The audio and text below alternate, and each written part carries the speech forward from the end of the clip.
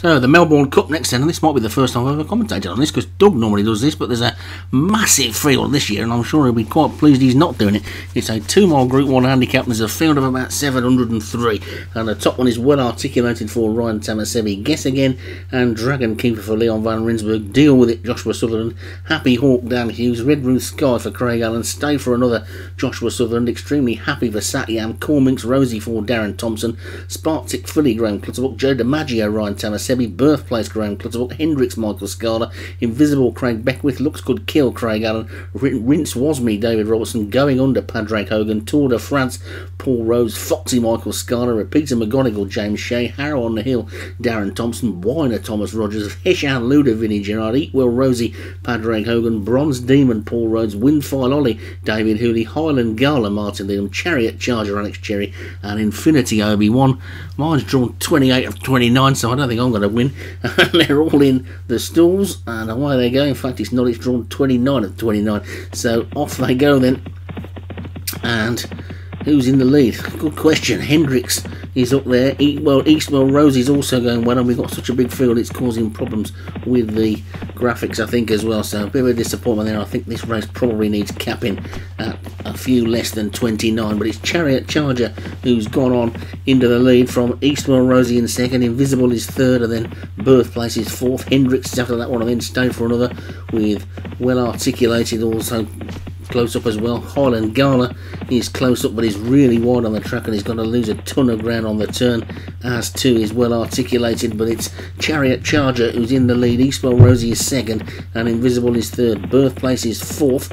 Then after that one comes Stay for Another and Hendricks and Rince Wasme after that one, and then Highland Gala, and well articulated Tour de France, and then Redruth Sky, and then Foxy, and extremely happy looking towards the back. Colminks Rosie is the back marker, but at least he's on the inside, and if he can get through all those horses, it's probably got a better chance of winning and one or two of the ones that are caught wide. So they're going to take this left-handed turn now. And then Chariot Charger is charging away in the lead from Eastwell Rosie in second, Birthplace third, and Invisible four.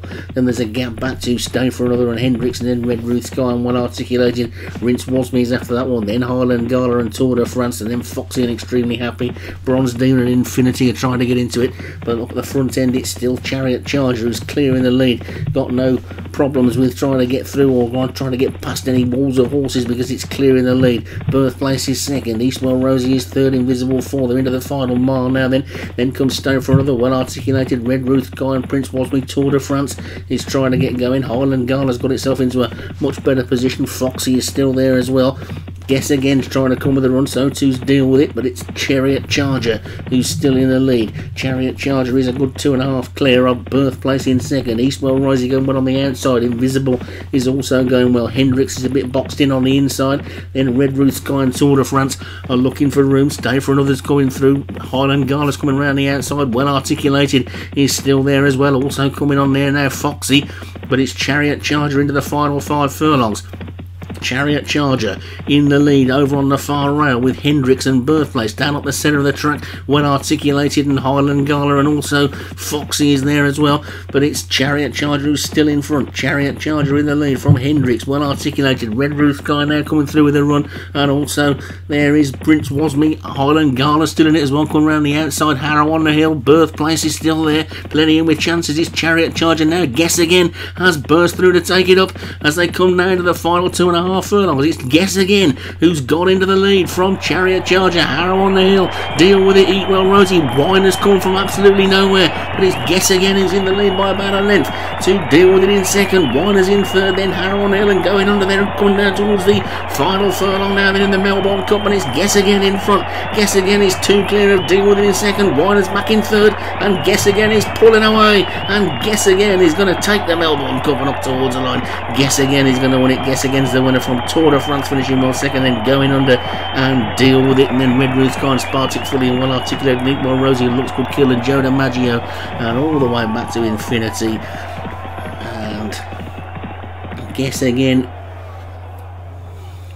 weaved its way through and took it, and despite the big field, no real bad luck stories, I don't think.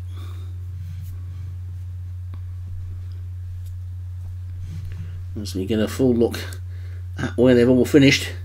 And guess again for Leon van Rensburg is the winner. Tour de France for Paul Rhodes second. Deal with it for Joshua Sutherland was third. Redruth Sky for Craig Allen was fourth. Going under for Padraig Hogan was fifth. So drawn 24 in second and drawn 17 came fifth. So maybe not so bad then. With 20, drawn 28, well articulated seven, and drawn 26, Eastwell, Eastwell Rosie was eighth. So the high drawn horses didn't do that badly at all in the end. So maybe it's not so much of a problem then at Flemington with the wide run on the track. But Guess Again takes it from Stall 4.